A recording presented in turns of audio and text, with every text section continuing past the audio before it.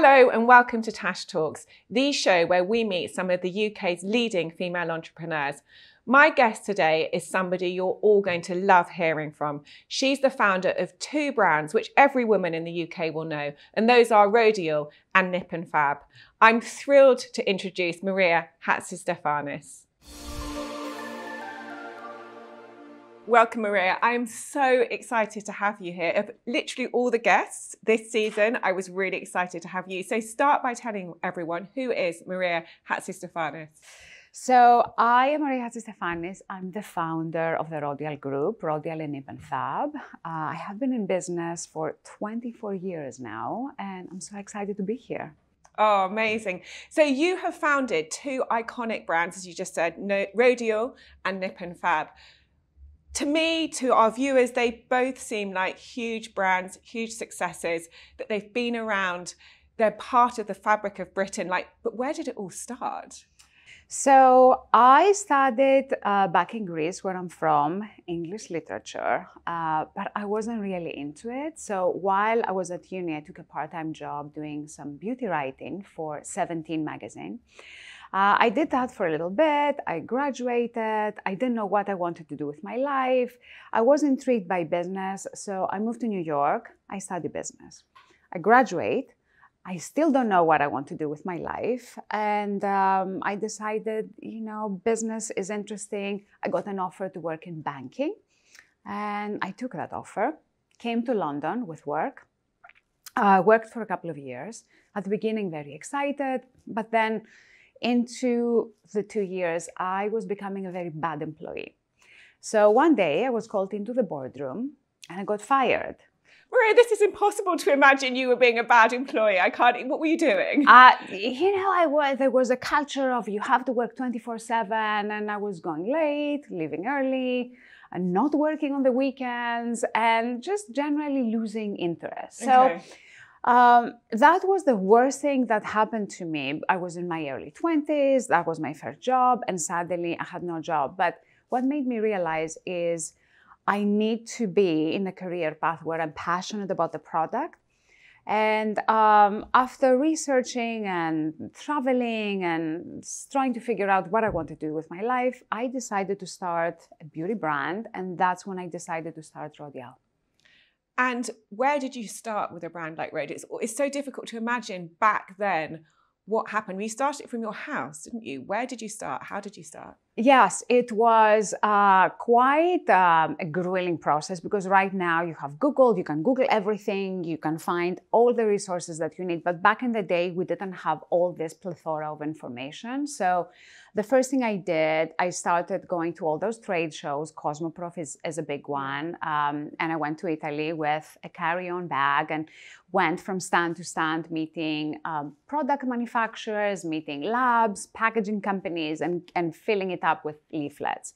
Came back to London, um, sorted out, and then started calling people and making appointments to go and sit down and figure out what are the resources that I needed to start my brand. Um, so I started very small. I uh, tried to get investment. I didn't get investment back in the day. And so I said, you know what, I'll start super small from a back room at home so I don't have to pay rent or get employees. And I literally had this tiny office. It was me my first production was 500 pieces, four SKUs in the cupboard, and that's how Rodial started. And how did you get bring it to market from having those products back in those early days? Um, so back in the day, we didn't have e-commerce, uh, D2C, as it's um, uh, now known. Now known. Yeah. Um, so I had to find a store to sell my products.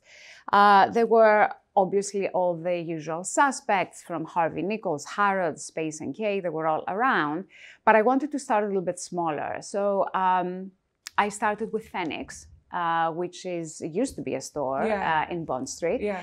Um, I went there with a bag, good bag of products, um, knocked the door. There was the buyer there, and I said, I'm Maria. I'm the founder of Rodial. I want to show you my products. So she said, You have five minutes. We sat down. I showed her my products.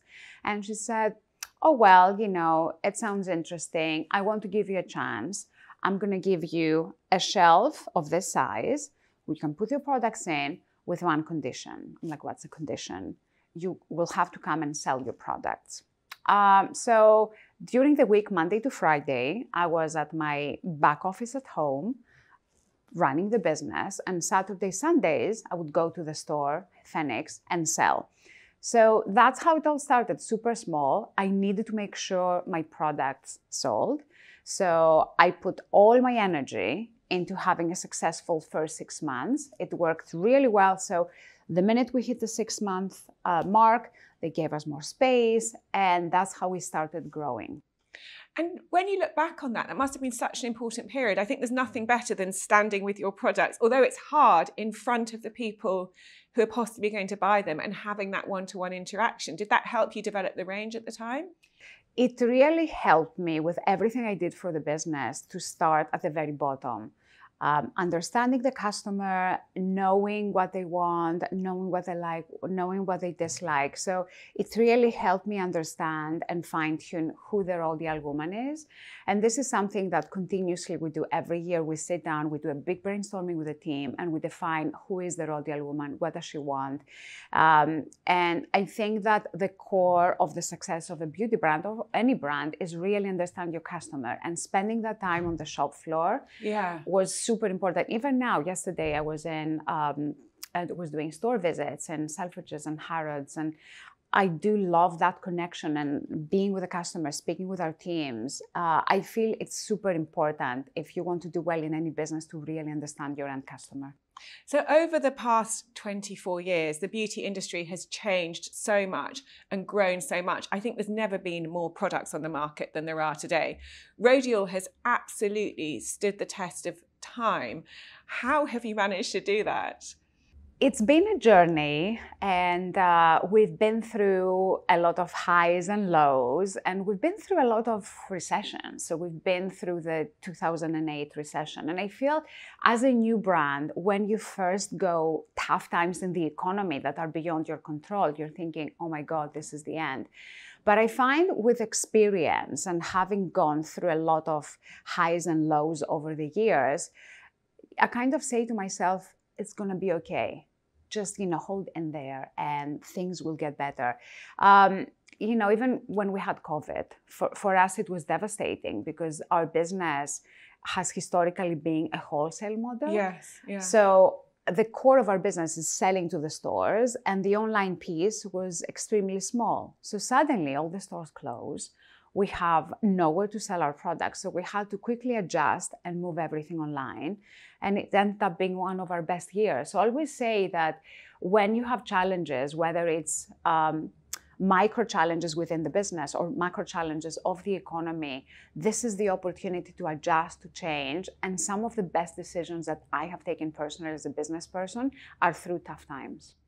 Now, before we come on to talking more about some of those tough times, just tell us about the second brand you launched, Nip and Fab, which came along sometime sometime later, but is another hugely popular brand. So there was a time that um, the trend of designer brands in the high street started rolling out. So there was um, Karl Lagerfeld for H&M and Stella McCartney for Gap. And I'm seeing all these amazing brands going through um, mass distribution channels through a diffusion range. So that's how Nip and Fab started. It was going to be a diffusion range from Rodial that we can distribute to channels like Boots and Superdrug and, and, and more affordable prices, but products that do have some of the DNA of Rodial. So that's how it all started.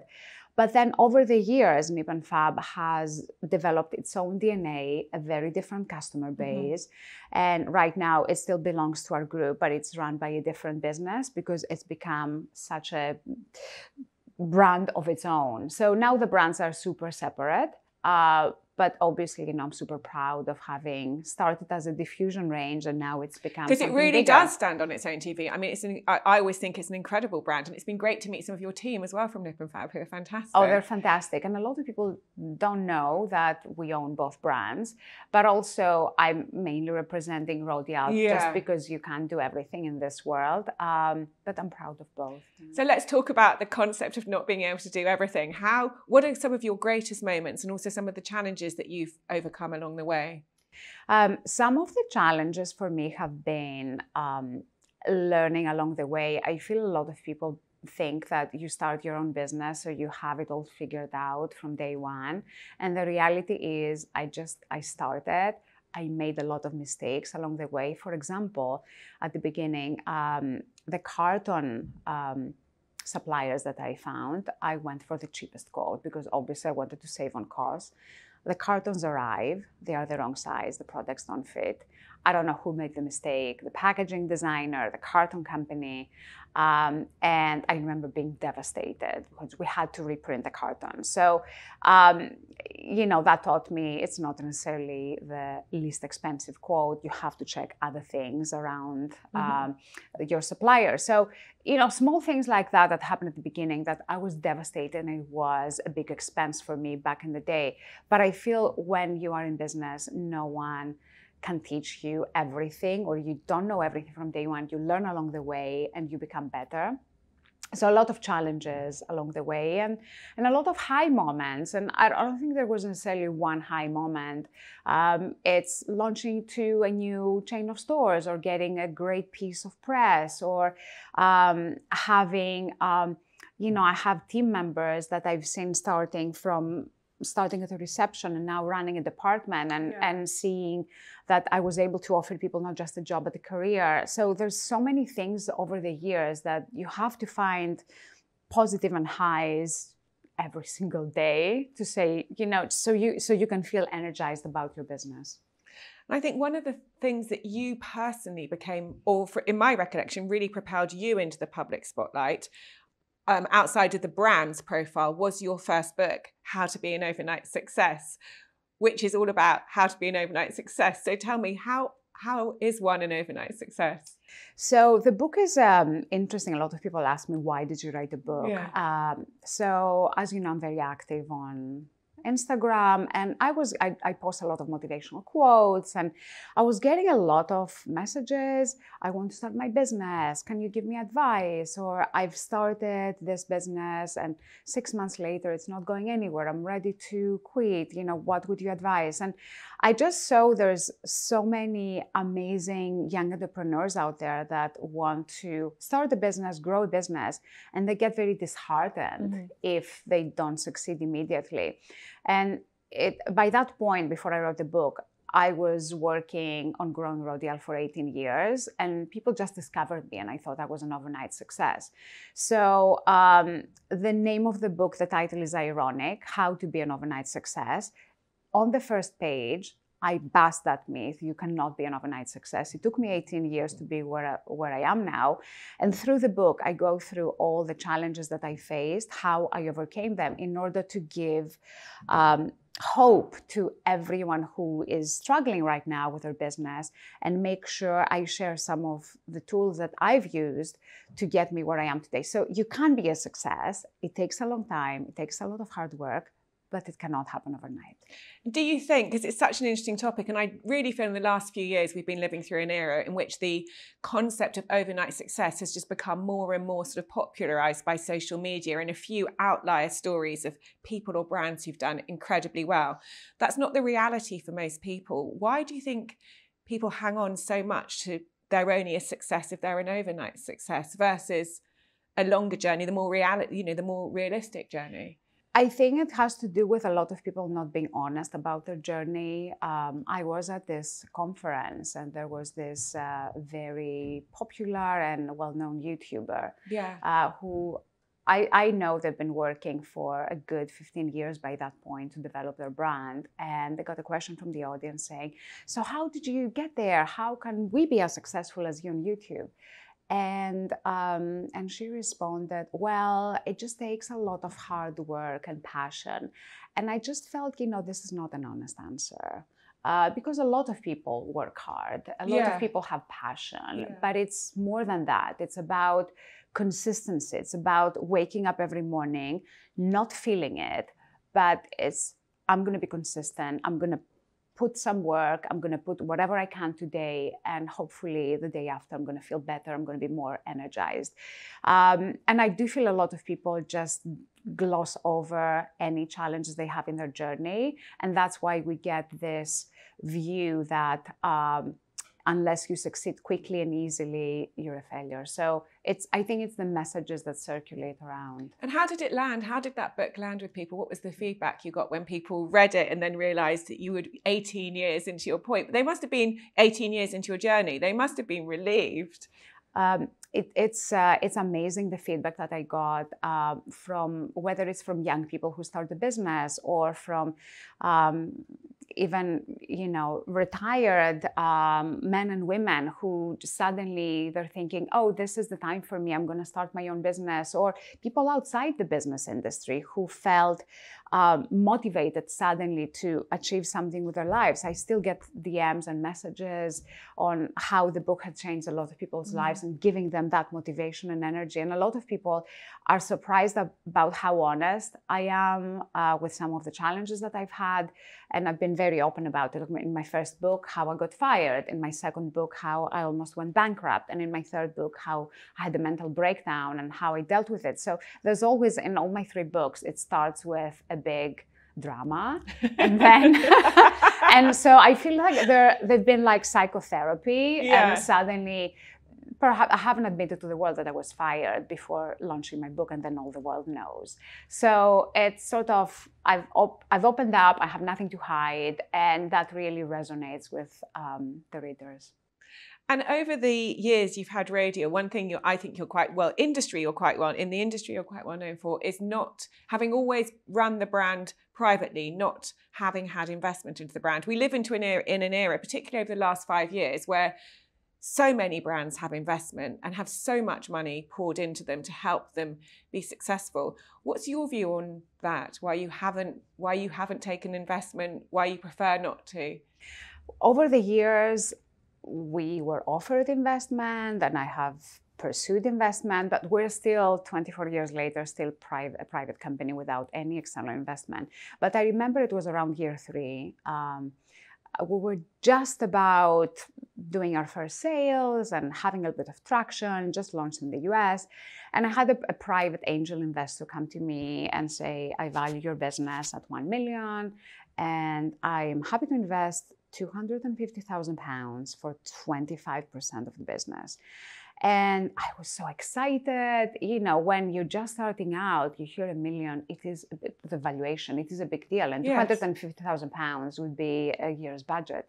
So I was so excited. And then we started talking, and it looked like what I wanted for Rodial for the brand was to grow the brand, elevate it, get it in the right places. And, and I had a vision for the brand, but the angel investors' vision was more about let's just get it in as many stores as we can. We have to make some compromises on the distribution channel, make it look like a brand that wasn't really my vision. So, based on that, I decided not to proceed with the investment. And now I would have given away 25% of my business for 250,000 pounds. So, uh, honestly, in hindsight, I'm glad I didn't do it. And you still get approached by investors now? Um, yeah, there's still uh, investors that are knocking on our door. And um, I find that you know the best time to get investment is when you don't need it. I yeah. feel a lot of companies go and get investment where they're desperate for money, and then you get in just anyone. Um, you compromise the brand, and I've seen so many founders have to exit their businesses after they get into bed with investors that are not right for them. Um, and so, for the time being, I'm still excited to run the business. Rodial is my baby. And I feel that as long as I'm excited to turn up, I, I don't need to sell any piece of the business. If in the future something changes or if the right partner comes along, I may consider it. But for the time being, we're still private. And I know when people ask you for advice, and some of them might ask you for advice around investment or growing their brand, you've often talked about how you can grow things sustainably because i feel in we've moved into an era where a lot of people think they can't even start their brand without investment. Now obviously there's many different ways in which you can start a brand. There's a low cost way and a high cost way. But how have you found the benefits of you know using your profits to grow the brand and doing that sustainably albeit over not a three year time period or a five year time period, over a longer time period? That is a very good point. I think you, you can start your own business or you can get investment.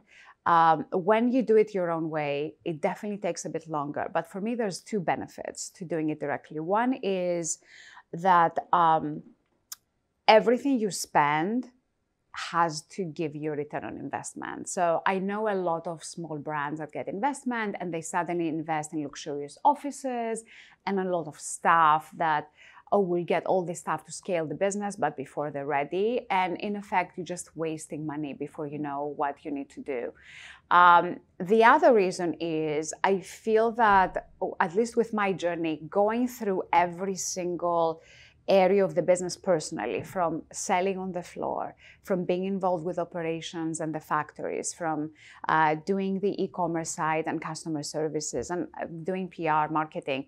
I've done everything. So I feel that I'm a more well rounded entrepreneur for that reason. Um, I know cases where a fund goes in, buys a lot of the company, and then immediately the founder is pushed aside and it's just doing one specific thing. Mm-hmm. And I mm-hmm. feel mm-hmm. very fortunate that I've experienced everything just because I had no other choice. And actually, that's one thing your team always say about you is because, you know, I think from the outside looking in, it looks like you lead a very glamorous life. You're obviously doing Dragon's Den in Greece very well known in Greece. But if you ask any of your team about you, they say, oh no, she's properly like doing the work, she's properly grafting, which I think is an incredible accolade, really. I certainly think your team really respect that.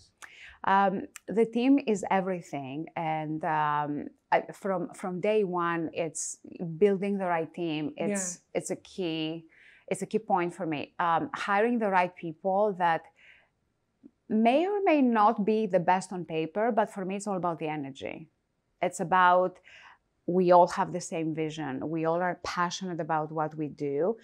And that if you have, if you and your team have the same vision and passion, then the tough days, you're going to get through them much lighter as opposed to having a team, you know, who looks amazing on paper, but they don't really care. They're there for a job and a paycheck, and yeah, they move yeah. on. So I feel that, and that's one of the um, elements that I'm very proud of my team. I have a lot of people who've been with me over 10 years, yeah. and I do count on them and I depend on them, and it, I, I feel they're like family.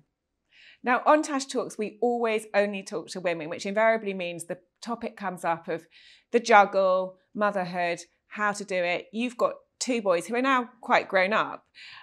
How have you managed that over the years?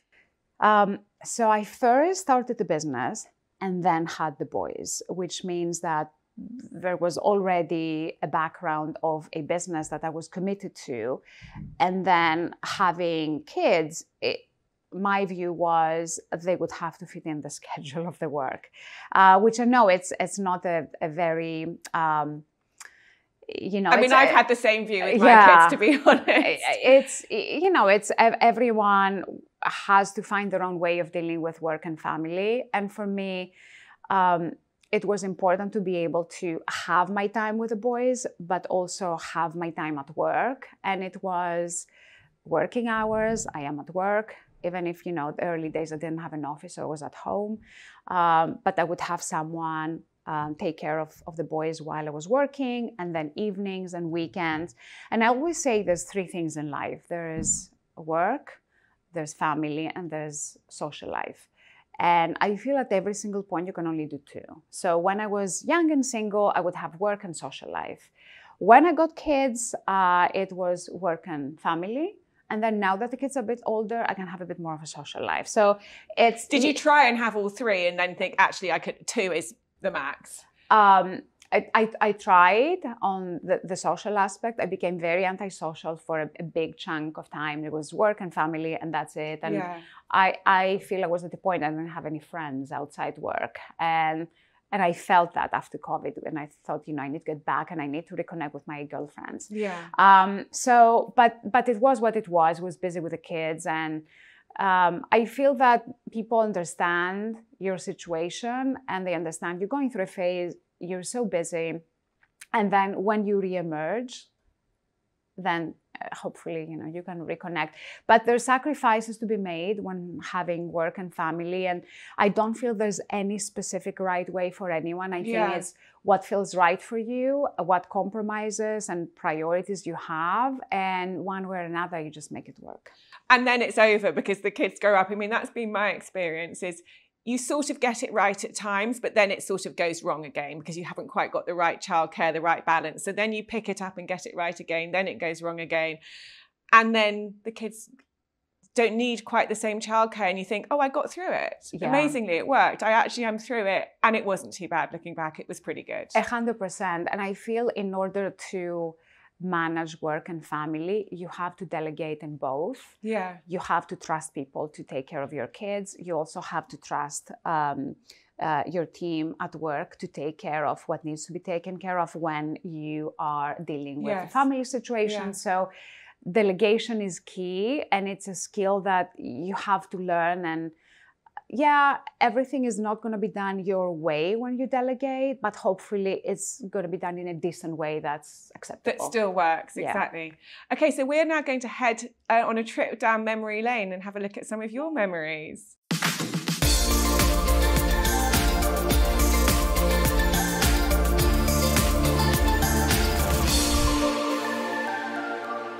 so maria your very first memory features a snake tell us more Yes, so um, it was year five of running Rodial.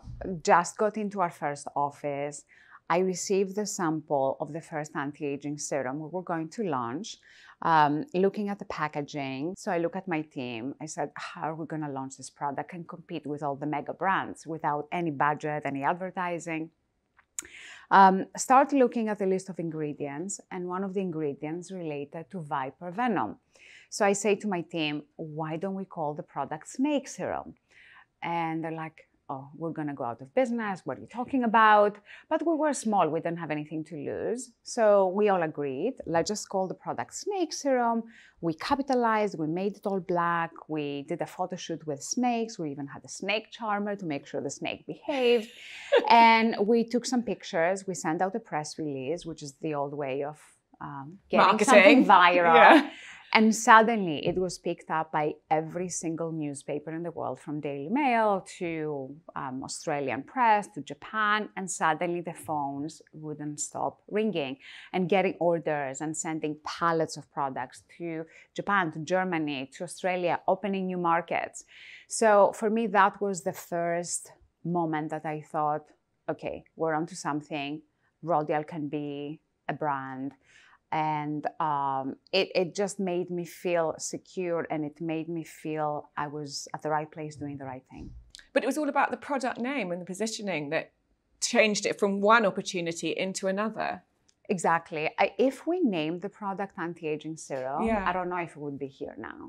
Okay. Um, so taking that risk it really took the business into a totally new journey. So for me when i have entrepreneurs asking what shall i do take a risk do something that's unexpected that's unusual that will make people remember you and your product so our next photo is a scene that every woman will recognize a Rodial counter Yes.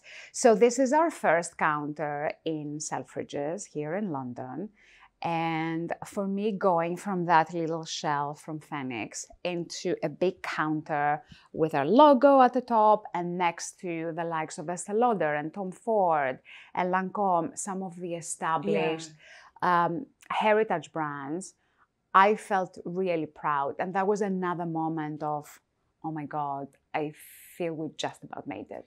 I do think even though shopping's changed to some extent and we have, you know, the rise of some e-commerce and digital first startup brands, it's still quite tough to get one of these counters, isn't it? Like you still have to be a truly great brand to have an opportunity to be in Selfridges with a counter. Well, the thing with the counters is, first of all, it's the brand. You have to be a brand that brings a new customer into the store. It has a point of view. But also there's very tough uh, targets that you need to achieve. So every counter that is given to a brand comes with certain sales targets that you have to achieve. So it's not oh have the counter and you've arrived. Yeah, you've arrived. It's that's the beginning of an even longer journey of making the counter successful. Um, but we've been we've been around for 24 years. Yeah. We've built an amazing heritage brand, and we do have a great team to be able to support it. And for me, yes, I mean the online, but it's very different going to a store and having mm. a chat with um, with your sales consultant and trying the products and getting the vibe. I mean, for me, yes, we lost it during COVID, but it's coming back in a big way. Yeah. Yeah. So, Maria, this looks like a very exciting photograph. Who is this and what is happening? So this is our first campaign that we did with Kylie Jenner. Uh, she did two campaigns with us for Nip and Fab, one in London, one in LA. And this was before she launched her own beauty range. And it was very early on on Instagram, where celebrities weren't necessarily being paid to promote the brand. So um, we did two campaigns with her. She promoted Nip and Fab through a photo shoot and some other events and social media package that we did. And that was the single moment that she took Nip and Fab from being an unknown local brand to a global brand. Again, we're starting getting emails. What is this Nip and Fab brand? Where can I get it? Um, we opened Ulta in the US. Um, we opened Superdrug here in the UK and a lot of international stores. And for me, that was a moment in time that it was before the boom of celebrities having their own brands, before they were endorsing a new brand every day. And um, we were able to afford her. I, I don't think we would now.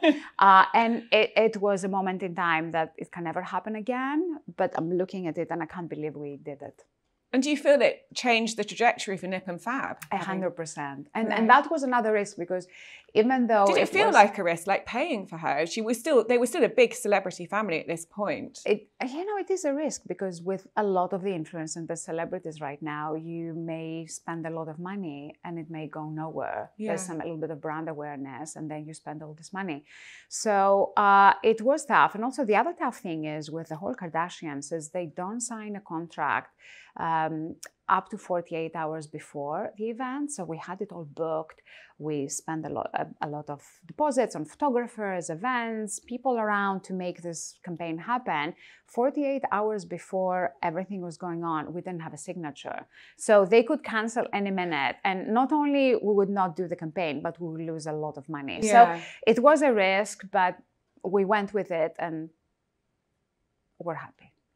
So, Maria, is this the book launch of How to Be an Overnight Success? Yes, this was the book launch event of my first book. And it's the moment that I can't believe I'm an author now because I, I'm not a full time professional author. I'm yeah. a businesswoman first and foremost. And it just felt great to be able to share everything that I've went through with everyone who is wants to get inspired, wants to start their own business. It just was a very proud moment for me. And your last photo is a very important and current project of yours. Tell tell us about this. So um, here I am on the set of Dragons Den Greece, uh, where I'm a dragon. Um, I filmed two seasons so far. We just finished filming season two. That's going to air in January. And um, when I was asked to be part of it, um, I, I, was very intrigued. I've been watching the show both um, in the UK and the US Shark Tank, and I've been a big fan over the years. And suddenly being in the set and being one of the dragons, it was unbelievable. But I got so much energy out of uh, meeting a lot of young up and coming entrepreneurs, hearing about all the different business ideas. And what really drives me is what I'm currently missing right now from, from my, my day-to-day job. Um, it takes me back to the first days when I was a startup which were one of the happiest days and, and most exciting days. Every small success was a big deal. Uh, and I do like to live these first days again through other companies and other entrepreneurs and be able to help them and mentor them in the journey. So it's been an amazing project. And we're already um, talking about season three. So yeah, and you've made excited. investments, haven't you? So you are involved now in supporting a number of businesses, although they're all in Greece, aren't they? Yes, they're all in Greece, yeah. uh, which is also something I really wanted to do because that's where I started yeah. and sort of giving back to the country who you know where I was born, um, and I, have I've been very very um, excited about the quality of businesses that I've seen, but you never know. I, I may end up doing it in the UK as well. There's there's a lot of great entrepreneurs I uh, come across throughout the year. So you never know. Maybe there's a UK leg to be coming up next. And I think as well, what's interesting is they're not all beauty businesses, are they? That you're investing in or you're getting involved with via Dragon's Den.